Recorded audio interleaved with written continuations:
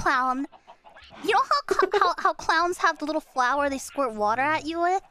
They do it in Toontown. There's an attack in Toontown where you. Oh, like, the squirt- fucking the little yeah. yeah, like Yeah. The, they squirt like like lube out or some They shit, dude. squirt water, but if you were a cum clown, the the flower would splooge at you. You're It fucking would. vile. It'd, it'd be Both a of you, different both of you. I fucking hate being here. I don't want to be a part of this anymore. I'm disappointed. No!